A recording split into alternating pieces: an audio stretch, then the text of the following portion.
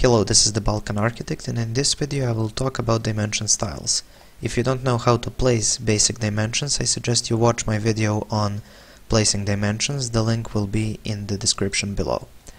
So now the dimension style. The dimension style basically, basically determines how your dimension looks. It determines these arrows and the length of these lines, the numbers, everything. So in order to access that, you need to type in dimension style with, or dim style, which is the shortcut for the manager. So here we have dim style, enter, and here we have dimension style manager. So here we have our dimension styles. You see we have standard, which is this over here. That's basically what comes with AutoCAD when you buy it, and it's really not all that creative. So now we can either modify this, we can set it current, or we can create a new dimension style which is maybe a, lit, a little bit nicer. So I'm just going to create new. I'm going to name it new dim style and this start with basically means it's going to copy everything that's in this dimension style and then we can start changing it so I'm just gonna leave that standard and go with continue. Now we have the new dimension style and here's basically all, all the settings. Here we have some tabs and we're going to start with the first one which is lines. Now here first we have dimension lines and first thing is color. Now you can change uh, the color. You can basically choose whichever color you want or what's little better is to choose by layer so this means that your layer will determine the color of your dimensions. Next you have line type which is also controlled in this instance by block but I suggest you leave it by layer. So basically the layer will determine the line type and the same with the line weight. I usually leave it by layer now we have this extend beyond ticks and you can see it's grayed out. You can't access it. That's because we have these ugly arrows and we don't really want them. So before we continue over here we're just going to skip over to this symbols and arrows and just change this arrowhead to oblique. We'll talk a bit later about it. So now we're just going to go back to lines and now we have this extend beyond ticks. This basically means what is the distance beyond this tick and how long will it extend. I usually leave it at let's say 20. We're doing this for the scale that will be 1 to 100. So I'm just going to leave here 20. Now let's go to extend beyond dim lines. Now you see when I clicked here this went all berserk and you can't really see anything that's okay when we change everything it will look normal again so extend beyond dim lines is basically how far this line extends beyond the dim lines. You can see it here. And now I'm also going to type in 20 over here. Now we have this offset from origin. Offset from origin basically means how far from your drawing you want your dim lines to start, I usually leave it at 20 as well. And here we have fixed uh, length extension lines and we have basically length but it's gray out, grayed out. If we check it that means that basically this distance over here will be fixed and you can basically write down how long would you like it to be so I'm just going to type in 20 as well. Now here we have these extension lines and you can basically set the color I usually leave it at by layer and you can change independently line 1 and line 2 those are these vertical lines over here and this one that's over here you can see it right now. Uh, I just leave them all at by layer because I think it's best when it takes from the layer these settings. And you can suppress extension line 1 and extension line 2 that basically means it will just turn off. This will be the one and the other is extension line 2 we should leave it. There is no reason to suppress it now let's go to symbols and arrows. This is the symbol that's basically the end of your dimension.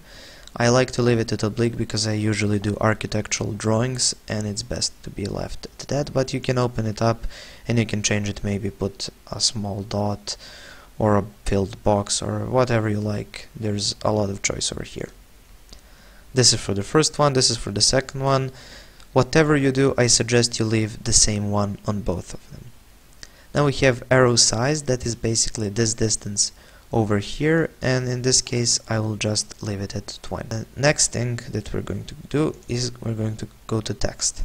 Now you can see this is all berserk, doesn't matter, it will be okay at the end.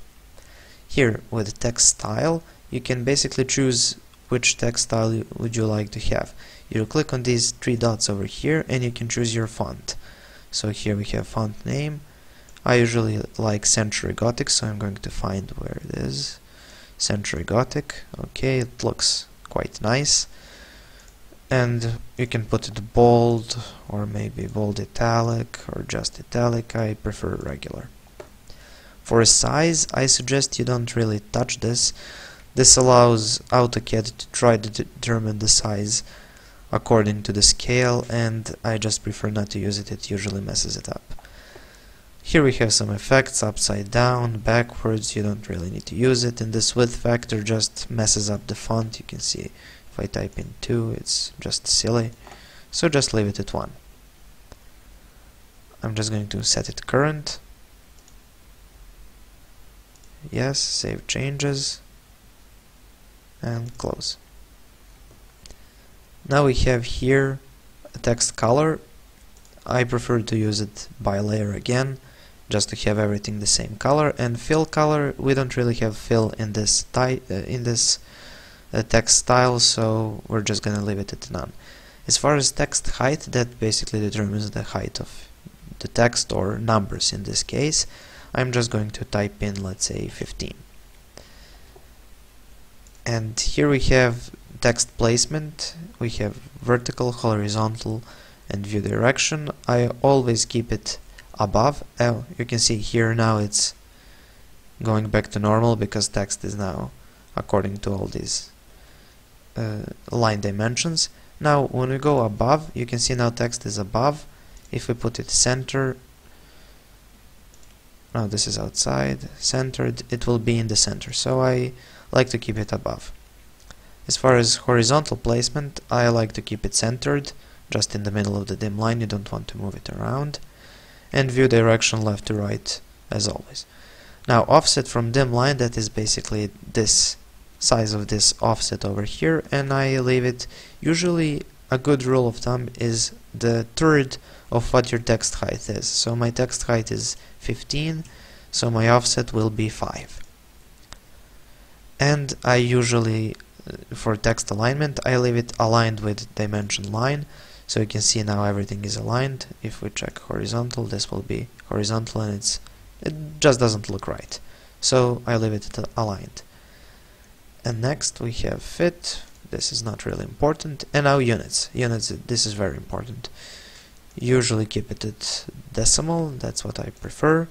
Precision I leave it just zero decimal places. This is an archi for architectural drawings. You don't really need them the round of point I'd leave it at 0 for decimal separator. That's basically if we, you had basically this you can leave it at period or comma or just an empty space.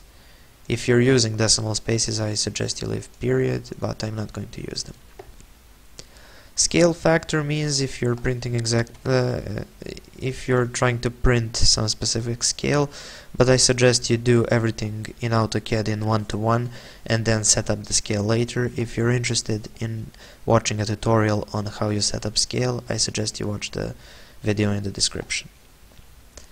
So that's pretty much it for this dimension styles. You just go OK, we find our new dimension style, we click set current, we close this dialog and let's go to this object over here.